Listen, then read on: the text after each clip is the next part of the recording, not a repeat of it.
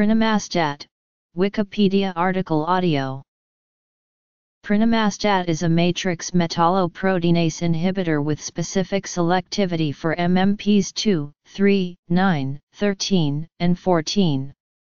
Investigations have been carried out to determine whether the inhibition of these MMPs is able to block tumor metastasis by preventing MMP degradation of the extracellular matrix proteins and angiogenesis. Prinomastat underwent a phase 3 trial to investigate its effectiveness against non-small cell lung cancer, in combination with gemcitabine chemotherapy.